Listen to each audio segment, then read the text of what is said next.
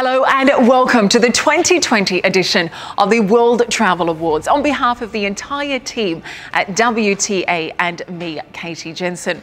World Travel Awards is the most prestigious honours program in global travel and tourism.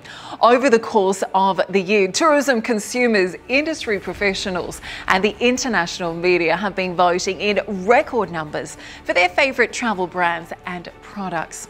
As we look ahead to a brighter future where global travel and tourism once again takes centre stage, winning a World Travel Award this year has become more important than ever before.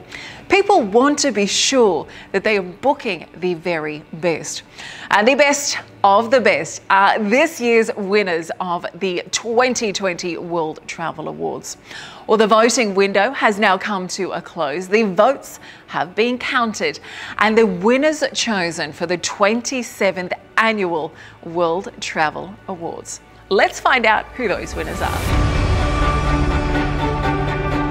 Our next award is for India's leading experiential hotel company.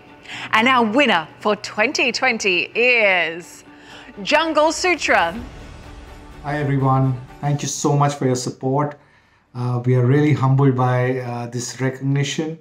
The industry is going through a tough time, and I'm sure these awards uh, are going to help boost our morals.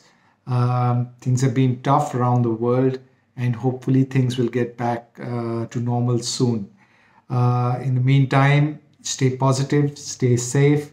We thank all our partners for all the support that they've shown us. Thank you once again. Congratulations to our 2020 winner.